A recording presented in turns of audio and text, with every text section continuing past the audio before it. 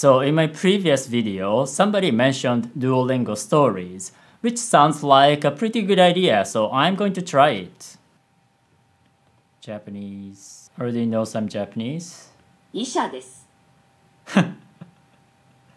Come on, the wrong pronunciation should be Isha. If I wasn't looking at the app, I wouldn't have understood her because of the mispronunciation. 計算は時々野球をします This doesn't sound like. I know this is an AI, but this doesn't sound very fluent. 10時頃昼ご飯を作ります His Japanese sounds broken. あすみません w i f i はありません Again, broken Japanese. 3時間かかります Okay. Okay. Where is Duolingo story? Characters, shop, and of course, there's no story. Okay, that's it for today, and see you. No, I, I, I think maybe I need to create a profile.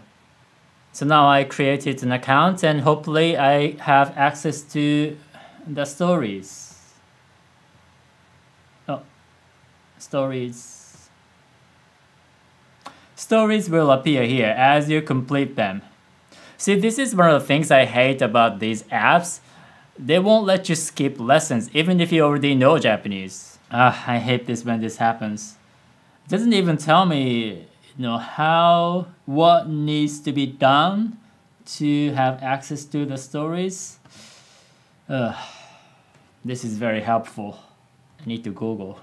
In order to unlock Duolingo stories, you need to reach checkpoint 1 or earn 10 crowns. Where is checkpoint 1? I don't know. Re- uh, what are crowns? I have streak, lingot, no crowns. Maybe if I pass the most difficult level?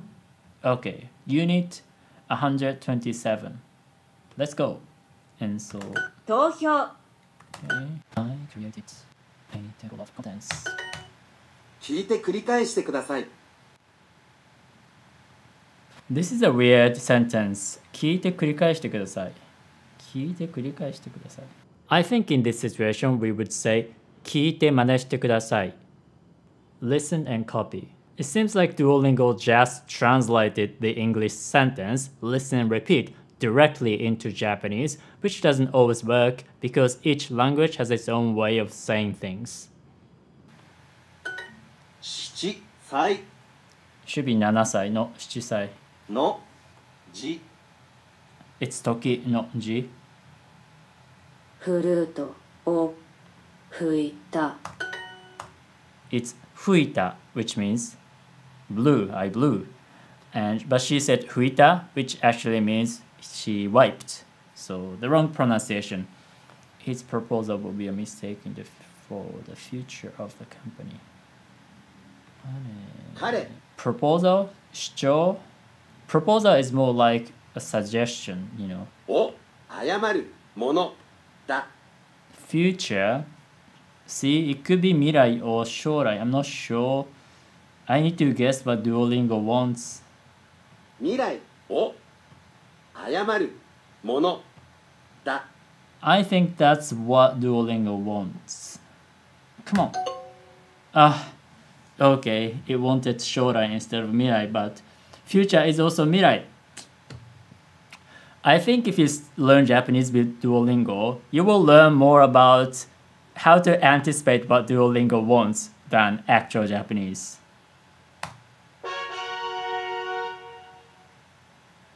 Did I pass? It looks like I unlocked it, the stories. Maybe I need to log out and log in again. Yes, stories, finally. So if you want to uh, check out Duolingo stories, just unlock one of the hardest levels. Everybody can do that. Let me try. Where are my keys? 鍵はどこリンは 祖母のルーシーと一緒にいます it's really uh, I, it's really a good idea to learn basic grammar with stories because you have more context than learning grammar in isolation. So if they add more grammatical explanations, that will be even better. 今夜は素敵なレストランで予約をしているからね Okay. もう行かなくちゃわかったどうしようバイクの鍵が見つからないどうしようバイクの鍵が見つからない。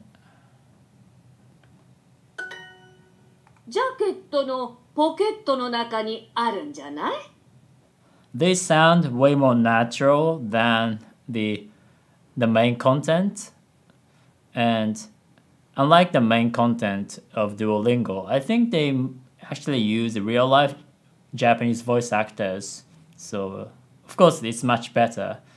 I haven't heard anything wrong so far, like mispronunciation and stuff. 鍵がどこにあるのかわかんないよタクシーを呼ばないうんうんもう間に合わないよレストランの予約はキャンセルするね You don't have to cancel. You can just call the restaurant and tell them that you are late. ごめんねおばあちゃん気にしないで今夜は私が晩ご飯を Don't give up so easily. 作るね。Okay. ルーシーは冷蔵庫を開けて中を見ますあこんなところに鍵があったよ In the refrigerator.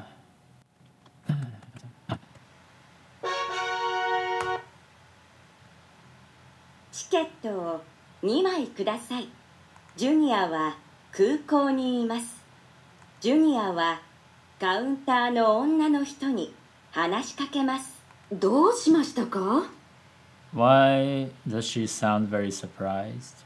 ソウル行きのチケットが欲しいんですけどえっとお家の人はどこですか？Ah, because uh, he's a kid. Junior. ちょっと僕は7歳ではありません Um, okay, this phrase would be not very natural in real life, but this is fiction, so I would, uh, I guess it's fine. 何歳ですか8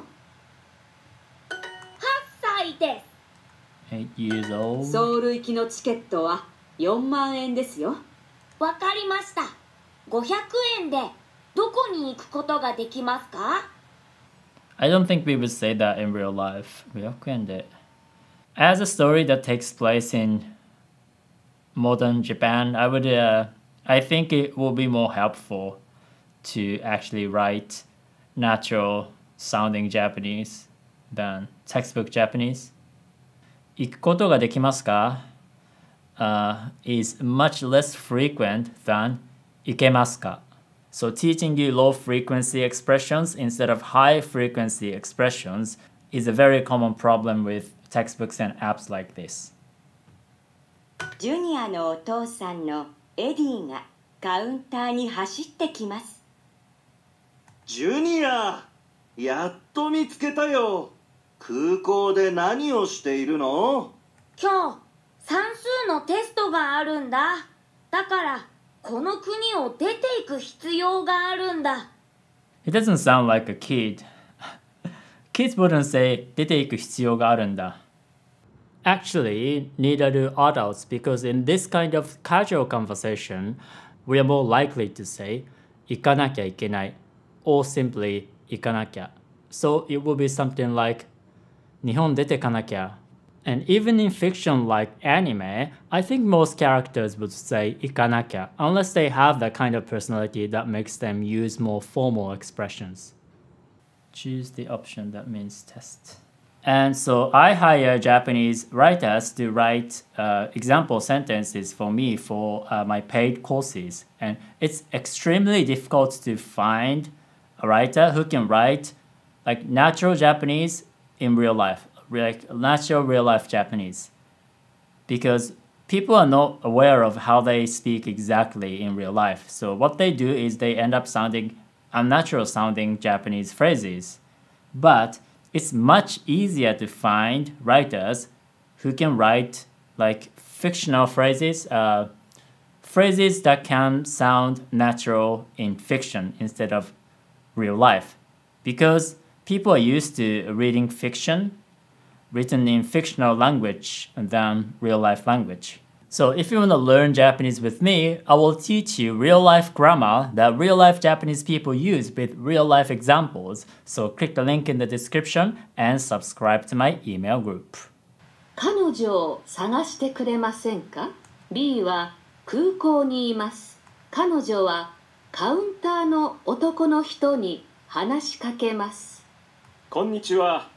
いかがなさいましたか So B is a girl and this is a guy, right? バルセロナ行きの便に乗るんですが飛行機の中で彼女の隣に座りたいんです Oh, okay. Uh, okay, okay. Same sex couple. Um, 隣かしこまりました。隣り合った2席がございます。よかったあの、お連れ様はどちらにいらっしゃいわからないんです彼女を探してくれませんか Shouldn't she be doing that first before trying to find tickets for two?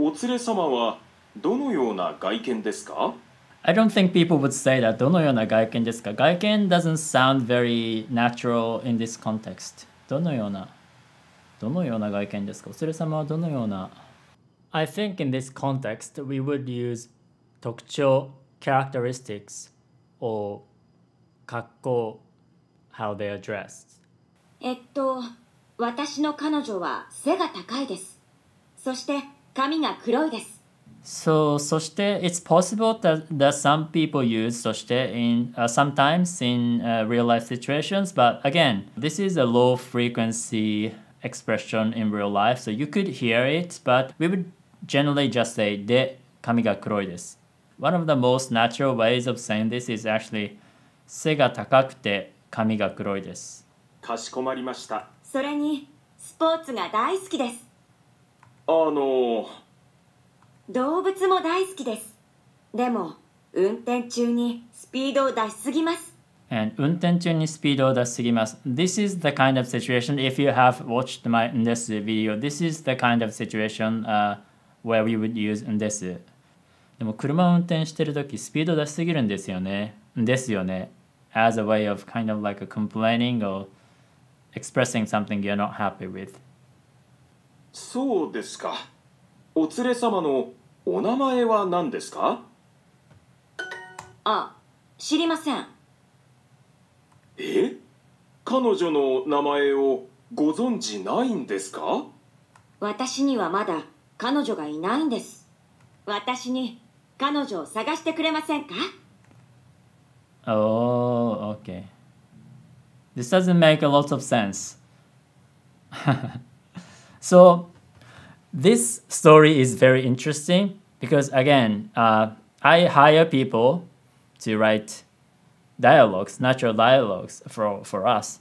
And one of the common problems is like some people try to make stories overly complicated because they want to come up with something unique, but they forget that it's for people who are learning Japanese. So understanding Japanese is their priority. So if you make the story, this is very unrealistic, convoluted, it's very distracting, and this story doesn't even make sense because you are still trying to figure out what the sentence means. So if you make it even more complex and something unexpected, it makes learning more difficult. So when I write dialogues for you guys, I always make sure that it's something that would happen in real life. But even as a somewhat humorous story, I wouldn't say this is a well written story. It's just unnecessarily convoluted. 買ってくれるジュニアとエディは モールにいますパパ、僕、新しいビデオゲームが必要なんだ。Oh, so Junior was Eddie's son. He doesn't sound like a kid. 新しいビデオゲームが必要なんだ。A more natural way of saying this is using いる to need.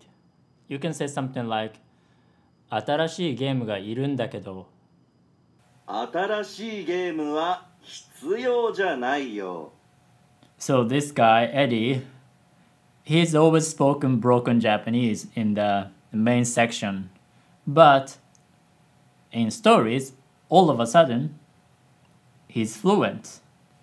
お願いこのゲームにはかっこいいロボットが出てくるんだ Cool.